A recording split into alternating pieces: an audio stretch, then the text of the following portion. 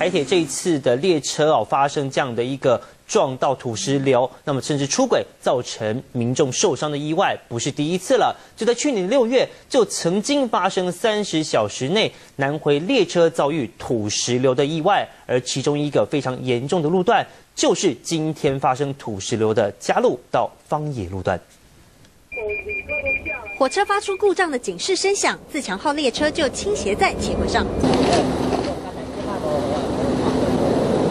可以看见酿货的泥水夹带的石块不断往下流。这是二零一二年六月十四号自强号列车从高雄往花莲方向，在台东大武和陇西站间遇上土石流，火车来不及刹车，直接撞上，造成两车厢出轨。不到三十个小时，六月十五号，台铁三幺二次自强号列车花莲开往台南，行驶到屏东嘉路到方野路段，也因为前方轨道遭土石流掩埋，司机反应不及撞上。土石流大概一尺高，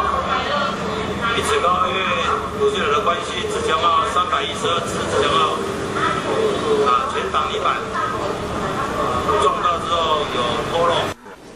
年出事地点跟今天三十一号自强号撞土石流都在嘉路到方野这个路段。南回线平均一天有三十班列车，轨道行经路线都是多山地形，而且是在山坡角的地方，地质不稳定，容易被雨水冲刷坍方。被台铁列为加强监控的严密路段，但在近日大雨之后，还是发生意外。中央新闻综合报道。